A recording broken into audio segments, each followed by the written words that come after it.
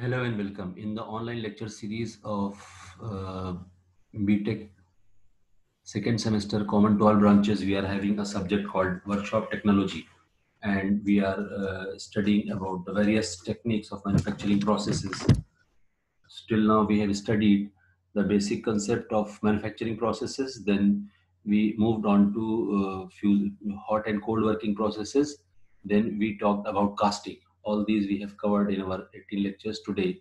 In uh, in the next section or last section of this uh, wt we are going to cover the welding processes and welding techniques. So today we'll be having introduction to welding. Then later on in six to seven lectures we'll be completing all types of welding and all aspects of welding. So uh, this is the welding process so uh, welding, as we know, is the process of joining two metals or two pieces together for permanent holding. And there is a permanent joint between two metallic pieces. So uh, how these two are connected together? The answer is simple. Heat as well as or pressure is applied to get the joint because this is a joint at the fusion level at the physical level. So that metal is fused and for fusing we need a heat. So metal is slightly bro, uh, brought into slightly molten form and then these two molten form are combined together. And this way two metallic pieces are joined together. And heat is required essentially pressure may or may not be applied. That would be depending upon type of joining upon type of metals. That what we are uh, that do they need the pressure or without pressure they do join together and fuse together. So welding is the process of joining two metals and in such a way that heat is applied pressure is an optional may or may not be applied. So it's a permanent joint joining two metals is permanent and this cannot be dismantled easily. So the joining of with the welding is a permanent joint. So we are having, depending upon the type of heat generation, we'll be having types of welding. So we'll be having, so heat required is basically, as I told, that heat is basically basic requirement for joining two pieces. So first of all, we'll see what kind of, uh, where from we are generating the heat. If we are burning a gas to get the heat. So this welding will be known as gas welding. And if we are producing an arc, I will discuss later on what the arc is. So if we are producing arc to get the heat, we'll be giving, uh, will be having arc welding. So gas welding is there, arc welding is there. Another module of generating heat or producing heat is resistance electric resistance. As we know, uh, H equals uh, heat is required in an electrical circuit. So H equals I square RT that would be depending upon the current and resistance and uh, the temperature would be into the circuit. So this way we also generate the heat and this resistance, this because of this resistance, the welding, so uh, the welding is called resistance welding. So these are the modules that we are having generation of heat for welding processes. We are lastly we are having solid state welding. In solid state welding, we fuse metal to metal. We produce different. Uh, we produce by friction or any other module the heat, and this heat is utilized for fusing to metals. So basically, we are having gas welding, arc welding, resistance welding, solid state welding. So these are the basic type of heat generation and Thus, the names are there. So now coming to the history of welding, briefly discussing about the history.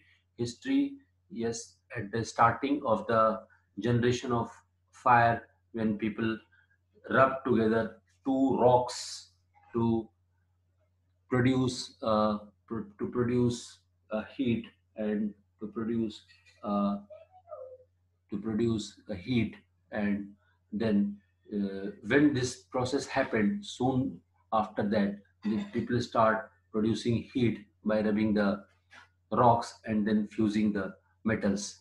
Copper probably first metal to be worked and since copper is very low melting temperature. So this was probably, it is assumed that probably, probably copper was 4000 BC before Christ was uh, welded. Ductile, easily hammered, bent or drawn in Egypt as early as 4000 BC and USA before 2000 BC. So in Egypt, we, it is assumed that the welding started before 4000 Christ, uh, Christ era. That means we are having 2020 right now. So 600,000, 6, 6,000 6, years back, it, it was invented with the invention of the heat production. So welding began more than 3000 years. Bronze developed between 3000 and 2000 BCs are we are having different work pieces that are known by various techniques that they are more than 3000 year old and they are welded. So it was uh, pretty it was found that welding is a technique more than 3000 years old. So this way we moved on so iron became known to europe after 1000 about 1000 bc and working of metal followed one another in great ancient civilizations copper, bronze, silver, gold, and iron. Chinese developed ability to make steel from wrought iron in 589 AD. And Belgians responsible for progress with steel in Europe. Okay, so these are the basic uh, know-how about the history of the welding and basic metals. Japan manufactured steel by repeated welding and forging and controlling amount of carbon by use of fluxes. So these were the key countries, key nations that contributed to the metal forming and welding processes. So basically China, Belgium, Japan, and Europe were involved for development of metals and later welding processes. Now, industrial revolution in the middle of 18th century brought many improvements. So this was basically in the middle of 18th century, that industrial revolution that took place all over the world was responsible for developing many modern techniques that we are working today. Working of dies and molds became commonplace by beginning of 19th century. So it is not so much ancient and not so much old. The modern technique, the uh, manufacturing techniques that we are looking now are not much ancient and they are hardly 100 to 150 years or mm, not more than 200 years old. So these are the modern technologies that we are basically applying into manufacturing of these. But of course, these have traces more than 3000 years old. So the, these are these were not perfect welding, but these were these were initial techniques, initial technologies that used by the human being 3000 year back. So later on, developing slightly, slightly, slightly, and when this industrial revolution in the mid of 18th century was responsible for all the modern techniques and technologies that we right now use to manufacture. Early developments in welding, Edmund Davy discovered acetylene at beginning of 19th century. Acetylene gas was largely assumed to be uh, related with the welding, acetylene uh, arc welding. So uh, this was this when this gas was uh, invented in in 19th century the it directly produced much heat and the fusion and the carbonic value of acetylene was such a high that it melted many high melting temperatures uh, many high melt temperature melting temperature metals and alloys so this way we can see that acetylene is acetylene is responsible for the latest the developments, the latest developments and the latest technologies that in building we are using. Sir Humphrey Davy discovered the electric arc in 1801. So another major, another common, another most applied technique of electric arc welding is also invented in 1800. And workable electrical generators devices invented and developed on practical basis by 1850.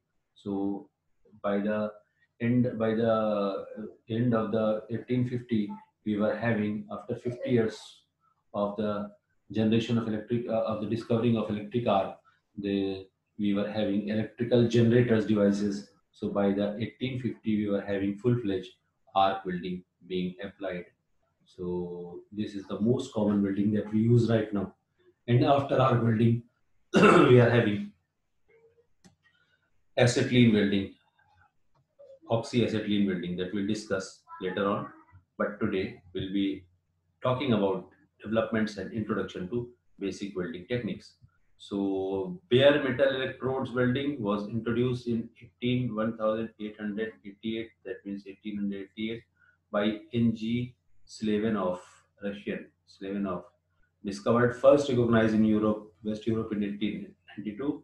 C.L. Coffin was pioneer of welding industry in United States. In 1889, they patent on equipment and process for flash butt welding. These are the few basic landmarks that we have in the history of welding. So I thought these are the basic, these are the uh, steps, landmark steps. So we must discuss. So that's why I took the topics. I took the topic, I took the points and discussed in a brief. So these are the basic welding. These are the welding associations in America, especially. So we are having ANSI standards, American National Standard Institute. So in welding technique, in welding technologies, we have many, many standards and these standards are followed all over the world in order to produce good welding techniques and good welding generations surfaces. So these are the first is ANSI, American National Standard Institute, then API, American Petroleum Institute, then ASME, American Society of Mechanical Engineers, American Welding Society, and American Bureau of Shipping. These are five welding associations that are that basically have norms of weldings and standards of weldings and for uh, customization purpose uh, our customers many customers ask that what what are, what are the welding standards that they, we have to follow as a producer so these are the welding associations that basically take care of every type of uh, every aspect of welding uh, welding factors so uh, since welding is a very critical process and it may produce uh, defectives that may be harmful to hum human as well. So uh, we can see that bridges are made, flyovers are made by building, applying welding, and many other machines and many other heavy infrastructures are made by welding technologies. So when these welding technologies are applied, we have to take care that we have to uh, implement any international standard in order to save the life of human, the life of human being and also loss to property. So these are the welding associations that work all over the that that are that have standards, and these standards are recommended and implemented all over the world for building purposes. So ANSI, API, ASME, AWS, and ABS. These are the five building associations in America that that have worldwide impact, and every country has uh, standards. These standards, many countries have derived standards from these associations but many have directly implemented. So we also have ANSI and ASME. These two uh, these two standards, ANSI, American National Institute Stand, uh, Standard Institute, and American Society of Mechanical Engineers. These two standards are very good standards and are followed in our nation also directly. So this is the welding process. Welding is Sorry. Welding is joining two pieces of metal by heating to temperature high enough to cease softening or melting with or without application of pressure, with or without use of filler metal. So three things we have to remember while studying welding. First is we need heat. Second is we may or may not need, we may or may not, I again pressurize, enforce may or may not. That means pressure may be required or may not be required. That we will discuss why. And with or without filler metal. So basic requirement is heat. And if it is there, so the pressure may or may not be applied. Similarly, filler metal may or may not be applied. So then the pressure is applied, there is no you there is no need to use any filler metal. Basic condition heat plus pressure plus no filler metal. And on the other hand, if we are not applying pressure, we need a filler metal. That is basic, basic simple thumb rule, heat plus pressure plus no filler metal or heat plus no pressure plus filler metal. So this is a combination that gives basic idea why there is a need of pressure and why there is a need of filler metal. So in case the metal has good good adhesiveness and they can eh, they have good flowability and they can good they have the property of fusing together. They have the good property of fusing together. There we don't need any pressure and there we need only pressure. We don't need any filler metal. And if they are not welded together so there rather than applying pressure we need a filler metal a third metal that is incorporated between these two. Similarly we can say if we are having a good friendship with our friend with our with a person there is no need to third person. And if we are fighting if we are not good terms with our neighbor we definitely need a third party to give a supporting hand to give a patch up between uh, us two. Similarly is the case with the metal if two metals are comfortable with each other and they can fuse each other so a slight pressure or a heavy pressure is applied in order to fuse them well and if they do not fuse together under the pressure, then they, then we need a filler metal. This is the thumb rule that we are going to use for our welding process and welding techniques. So elements of welding techniques, as I told, three basic requirements. One is we need to have a heat. Then other element is filler metal, and third is uh, filler metal, and third is pressure. So filler metals are used to fill the space between the welded joint. Filler metal is melted and added to joint during the welding process. It adds strength to the joint. Now, fluxes. Fluxes are the other elements that are cleaning agent used to avoid contamination of welded joint by impurities, right? Oxides, oxygen combined in metal during welding. Flux dissolve oxide, trapped gases, and slag from the base metal. So, flux we will be discussing in our next lecture. So, for the time being, I hope that the basic elements of heat are clear to you and you would be comfortable with the basic concept and the basic history of the welding that we have discussed today. Still, you have any clarifications, doubts, you may get in touch on my phone number 9069 For the time being, I am signing off. It's all bye.